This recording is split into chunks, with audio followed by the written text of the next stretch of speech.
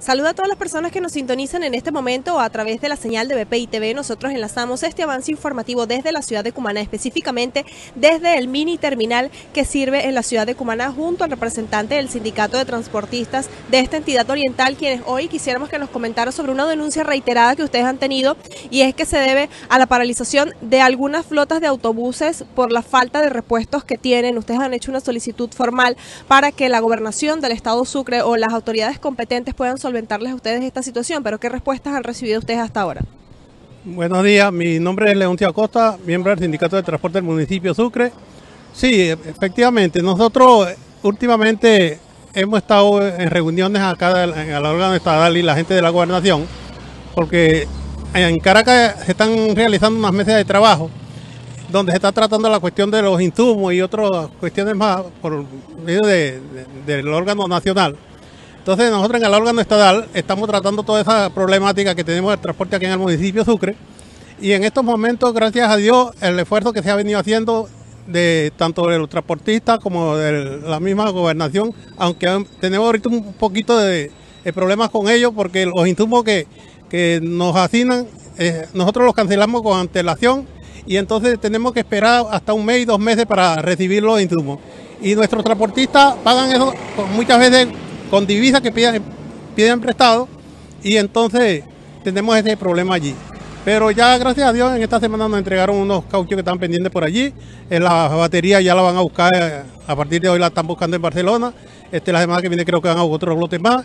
Y bueno, estamos para adelante ahí. Y gracias a eso hemos venido adelantando un poco la situación. Hay otra situación que también quisiéramos conversar con usted a propósito de este tema del transporte y es cómo se mantienen los precios acá en la ciudad de Cumaná del pasaje público, entendiéndose que otros estados a nivel nacional quieren implementar lo que es la dolarización del pasaje para poder subsistir a la vida cotidiana del venezolano y que les alcance tanto el sueldo, además que otra de las denuncias también que hemos reportado a través de los usuarios y es que eh, los bancos están dándole las pensiones con billetes de 100, sin embargo los transportistas continúan sin aceptar este billete. que me, puede, ¿Me podría indicar cuál es la solución o cuál es la respuesta que ustedes le tienen a todos los usuarios? Bueno, el problema que tenemos acá en el municipio de Sucre es el problema de todo el país. El Estado de Sucre no, no, escapa a toda esta realidad que está viviendo el país. Entonces nosotros como transportistas, primero que no nos estamos negando a agarrar el billete de 100. No nos estamos negando. Eh, pero que aún eso nos está creando un gran problema a nosotros porque en el banco cuando los usuarios van lo que le dan es puro billete a 10 porque no hay billete de alta nominación.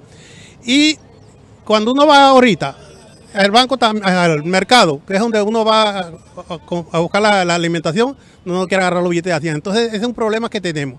Que se ha estado tratando a nivel nacional, que se pague en divisa, se cobre en divisa el pasaje. Y nosotros aquí estamos en la misma onda, pues. Porque ahorita, aún en los repuestos que nosotros estamos comprando para las unidades, en todos los repuestos que te están pidiendo, en toda la venta de repuestos te están pidiendo 3 dólares. Bien, parte de la información que nosotros manejamos desde la ciudad de Cumaná, esta es la situación que se presenta en cuanto al transporte público y las deficiencias que manejan este personal acá en la ciudad de Cumaná. Parte del reporte que nosotros tenemos a este momento y con esto les invitamos a mantenerse en sintonía de nuestra señal. Desde el estado Sucre, Venezuela, Ariana Ágreda, BPI TV.